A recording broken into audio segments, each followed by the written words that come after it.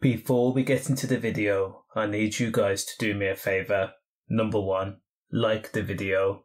Also comment, let me know your thoughts on the case. Now because crime shows no signs of slowing down, whoever was responsible for pulling out a pistol and letting that item off in broad daylight must have some serious issues, or had got tired of playing games like Call of Duty and wanted a more thrilling method to try and risk their freedom.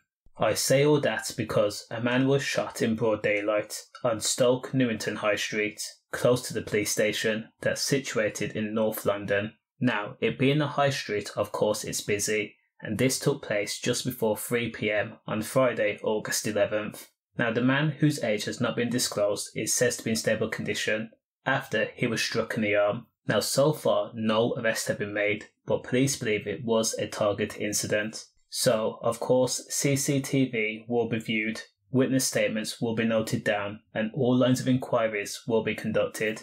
Now, this seems like the new normal. Stay safe, safe.